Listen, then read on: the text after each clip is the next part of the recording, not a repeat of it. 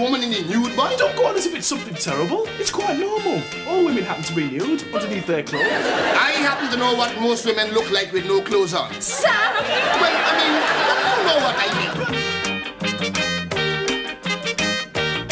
I, your talented brother, the artiste, have been commissioned to paint a portrait of a certain Mrs. Marlene Davis. Mum says she's got more on display than the supermarket. When I paint her, she's going to be wearing nothing at all. You're going to paint in the nude? Well, no, I was planning to keep my hat on, actually.